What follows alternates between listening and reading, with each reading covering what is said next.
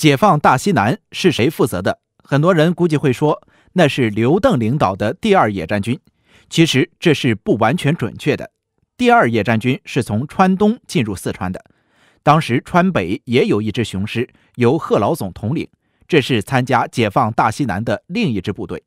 所以，解放大西南由刘邓和贺老总共同负责。西南军区成立后，贺老总是司令员。巧合的是，刘邓都属龙，贺老总呢明龙，所以那是三龙入川，解放大西南。确定由贺老总从北面入川后，主席专门征求他的个人意见，准备带哪一支部队入川。这里需要说的是，当时全国战场编成了五大野战军。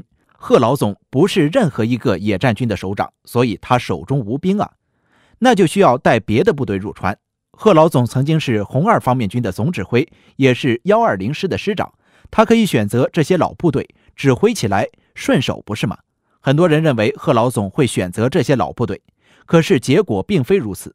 贺老总考虑，这些老部队大部分都是第一野战军的主力，正在跟随彭老总解放大西北，任务十分艰巨。他们熟悉西北战场的情况，而且早已经习惯了彭老总的指挥。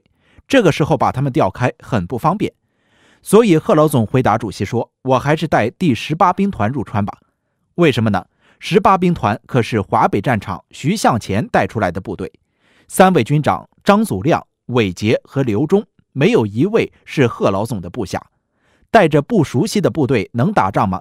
贺老总却毅然选择了第十八兵团。”不过，很多人表示并不理解，尤其是当年贺老总的老部下们，他们就问贺老总为什么不带自己一手带出来的老部队呢？贺老总十分严肃地回答说：“为什么一定要带自己的老部队呢？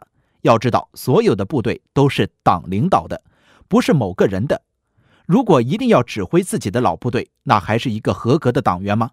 这就是贺老总光明磊落、高风亮节，没有任何私心，党性崇高。”